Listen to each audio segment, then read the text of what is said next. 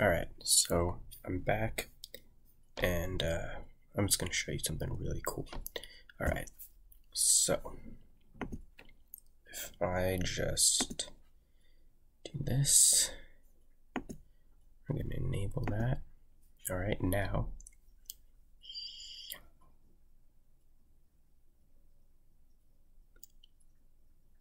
So, for example, if I go like this, just gonna align ourselves with it. Now,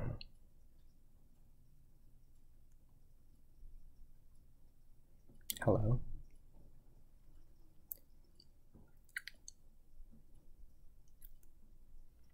Hey, hello. Hello. Hello.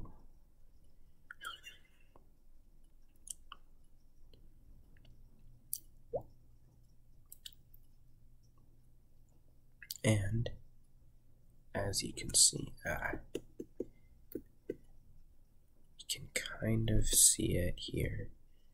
It's hard to tell from this far, but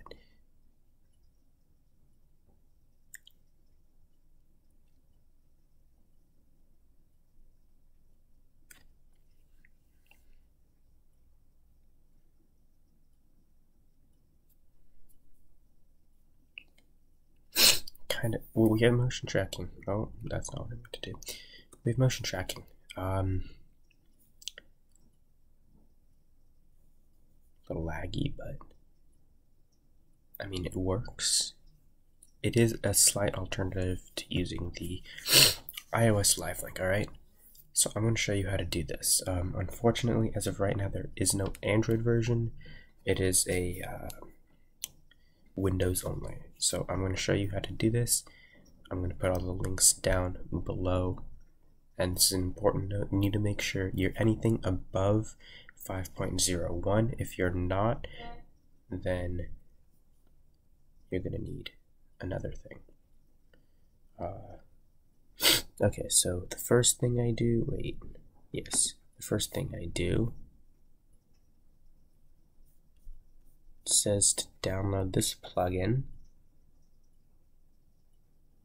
Okay. Alright, then once I download the plugin,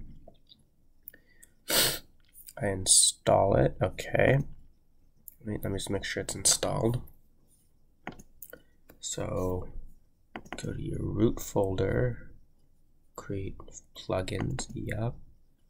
Make sure it's there, yup.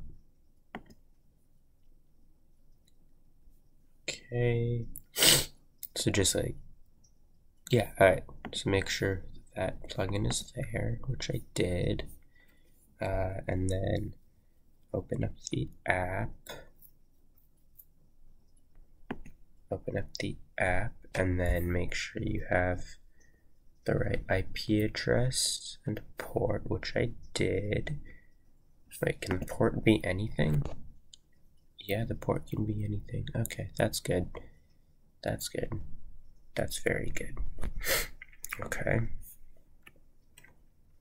Uh, so the port can be anything, and then just do the same thing here.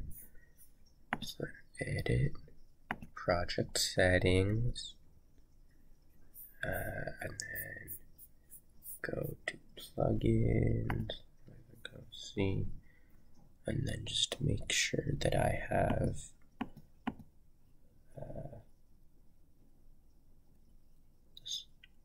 proper. Just make sure I have that, yeah. Alright, that's the same, that's perfect, alright. Now we can close that. And then make sure it's selected here. And bam bam bitty bang. It works.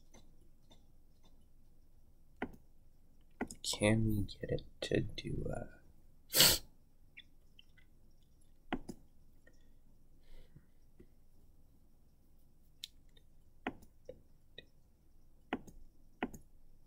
wonder why can't we make it rotate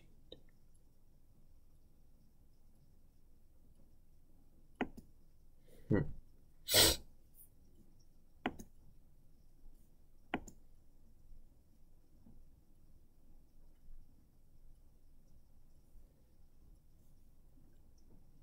Interesting.